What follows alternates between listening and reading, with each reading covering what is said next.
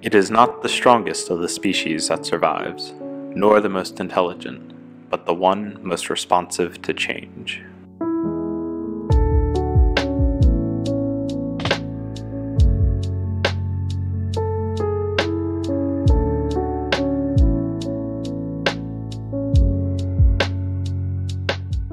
What is a genetic algorithm?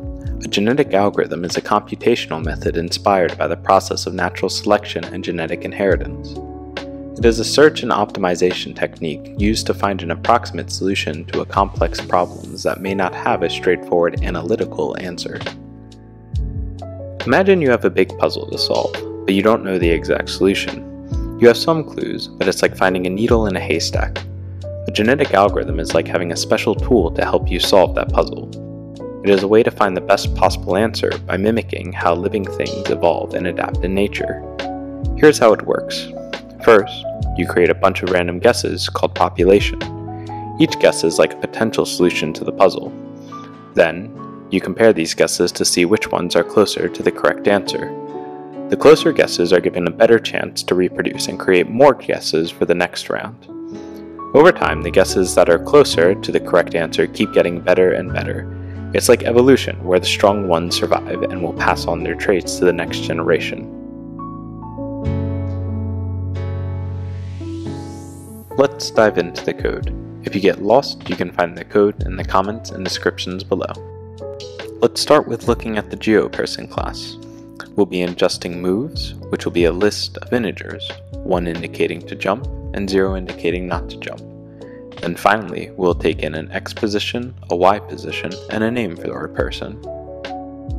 Now, let's take a look at the move function within the GeoPerson class.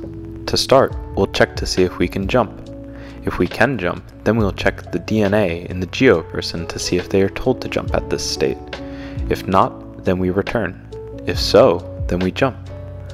Now, if we cannot jump, we will check to see if we are currently jumping. If so, we will continue the jump sequence. Finally, if we cannot jump and we are not currently jumping, then we are falling. Lastly, we have a function called modify moves, which takes in a list of moves and a modify index. It is important not to modify all the moves, as that may impact the next generation's performance for the worse. However, it is important to adjust the moves towards the end, that way the Geo people can still evolve.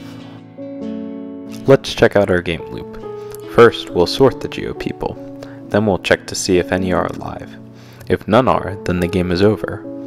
Next, the board is printed, as well as the Geo people are allowed to act. This cycle is repeated until the game is over, or all of the Geo people have died. At last, we now have our main, which will create a new batch of Geo people before calling the game loop. This process is repeated until the number of epics is complete or a Geo person has completed the game. Thank you for coding with me. I hope you all have a lovely day.